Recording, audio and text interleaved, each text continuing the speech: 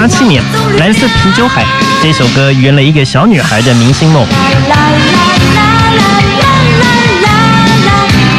蓝色啤酒海一晃眼二十多年过去，现在打开电视机，两岸三地节目都可以看到黄韵玲在歌唱比赛中担任评审。黄韵玲说，这些场景很早很早就出现在她的脑海里，和同学们玩歌唱节目的游戏。黄韵玲她怎么玩都玩不腻，我等到实际接触了音乐，竟然是一条痛苦又漫长的过程。叔叔说，这个小孩就是要学钢琴，我爸妈就说对。要学钢琴，然后我就去学了。所以你知道，我又不认真，有的时候又没练琴。然后我叔叔就是会，就是很生气，就是哎呀，就是很气你为什么都不弹琴。他就是会打你的小手心这样子，或者我每次上课都永远都在哭。所以我就是一路都被叔叔打到大。我觉得也，反正也打 打出来，我不就是你知道不放弃啦，因为我觉得反正你越打，我就越勇，对不对？我的一片心意，我的一片柔情，我已奉献给了你。因为我小时候最大最大的梦想跟志愿，就是要帮这个凤飞飞写歌。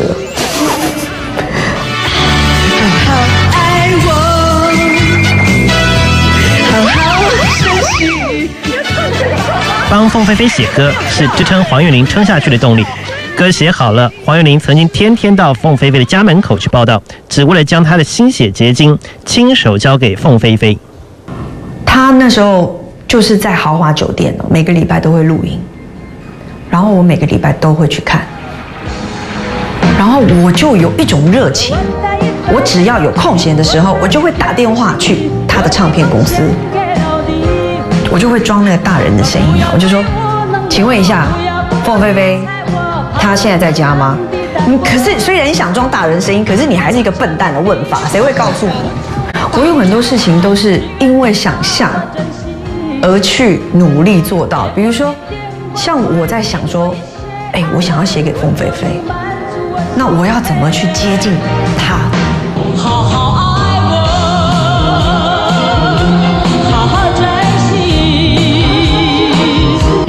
我就去照着我想象的这些东西，我就去试试看。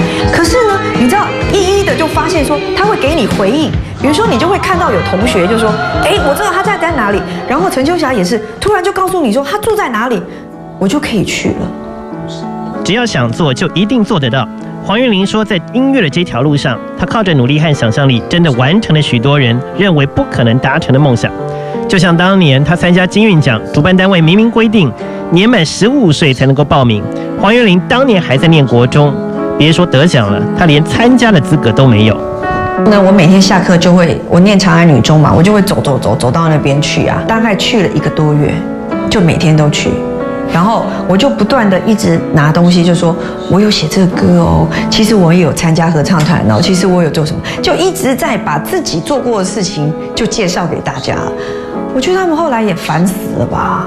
就就后来就就讲说啊，好了好了好了，你们来吧。一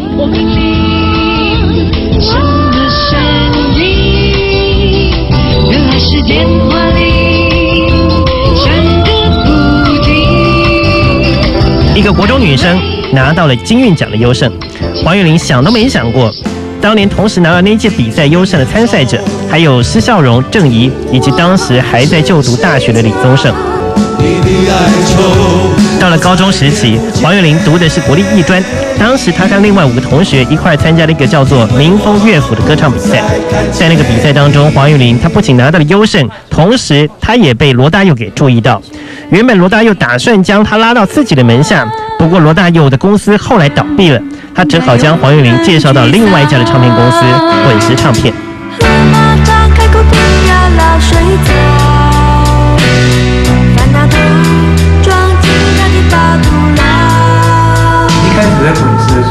是小妹，就是插词头的助理。就你你是储备歌手嘛，那你就是要从基层做起。那办公室是小小的，我们每一个人都好靠近，好接近，而且那个电话你拿起来，你都可以对骂。李寿全，然后当时还在滚石的时候，他就打打那个，他就说：“小林，我跟你讲哦，红蚂蚁哦，你不要跟他们谈恋爱，他们哦都交很多女朋友。” 然后好像说你要好好写歌哦，哦，一定要好好写歌哦。就大家都都听到，就很有趣。我觉得在那个过程当中，其实每一个人的感情都是非常的，怎么讲融洽，对。请回避无限的爱情，请注意孤独的心情。在滚石当了一年多的储备歌手，一九八六年，黄韵玲终于等到自己的专辑要出片了。从小到大的心愿，等待的不就是这一刻吗？第一张，我自己就很坚持自己要编曲啊，这样。然后其实自己也不是说懂那么多，可是因为知道自己就是还要准备的很多，所以就花很多时间都在做功课。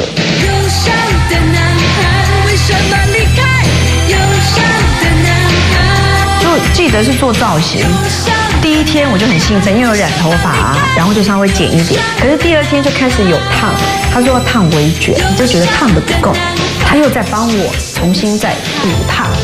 我跟你讲，烫完之后呢，我整个人就崩溃了，因为呢，就你会觉得很像米粉，然后我我的泪就一直飙下来，因为我知道应该说什么，就整个头发都就就是它不会动。对，也就很自然的，也就有忧伤男孩的眼神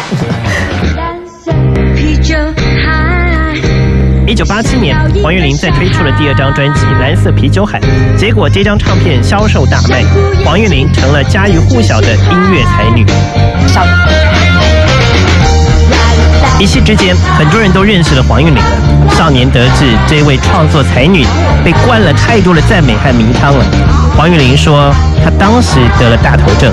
其实那个时候哦，真的头大到有一点就疯了。那我我还记得我自己就很自作主张的跟这个唱片公司讲，就是说，嗯，那接下来呢，我我想要找谁拍 MV 啊？接下来我觉得封面呢应该要怎么样的做法？我觉得我应该走什么样的风格？我应该怎么样？结果那张唱片其实是卖的不好的，然后我自己还很生气，然后还一直怪别人这样。那有一天我妈就跟我讲，我妈就说啊，那那那你说卖不好啊？那歌是谁写？我说。我写的，啊然后说，哎呦啊，那个封面拍成那样，那是谁弄？我说，我就看我妈，我说，我我之前说我想要那样拍的，然后就说，哦，所以你现在还在怪别人哦？然后我就想了一下，我就知道了，我知道我妈要跟我讲什么，我就说，我知道了啦。黄妈妈对黄韵玲既严厉又温柔，在音乐这条路上，如果有妈妈的肯定，那比拿到任何奖项。都要来得开心。我觉得妈妈一直是一个，一直到今天都是一个很严格。就是我写了这么多歌，她她只有跟我说过《心动》是好听的。有多久没见你？因为你在哪里？就是他有特别跟我，就是反正就是也好像是特别的。有一天。早上他就跟我讲说，哎，那个那个张艾嘉的那个导演导演他导了一部戏啊，是心动啊，啊那个歌还不错，蛮好听的。我说我写，他说哦你写的，我听人家讲很好听，讲。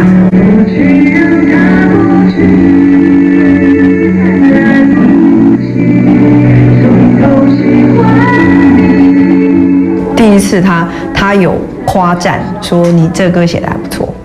你们的头脑和我们一样聪明，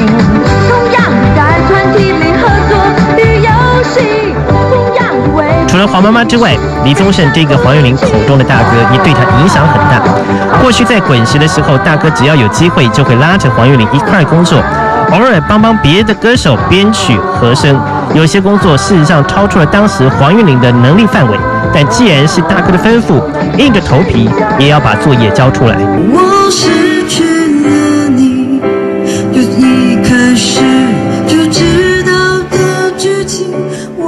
九九二年，黄韵玲和沈光远一同创立的友善的狗音乐工作室，决定从滚石体系中独立出来，离开了大公司，包袱少了，创作空间大了，但压力也来了。这些压力从前上面有人顶着，现在都要自己扛。友善的狗业绩逐年下降，两千年甚至还爆出了财务危机，累计债务高达上亿元。在当时处理的方式，他都是非常的保护我的，因为你知道，就是像有时候我也会常常去很多地方录影，那当时就会有一些，比如说哦，人家会跑来电视台找啊，或什么什么什么。可是当下就是他会马上都会去做处理。透过朋友们的帮忙，黄玉玲开始狂接工作，就连以前他最不喜欢的广告配乐，他也来者不拒了。他原本只是想借由大量的工作，赶快解决公司的债务问题，结果没想到他反而在担任歌唱选秀节目的评审时，再创事业的另外一波高峰。小玲姐，你刚看他们，你想到什么？我在想说，其他两位老师都有时间可以陪他们的同学。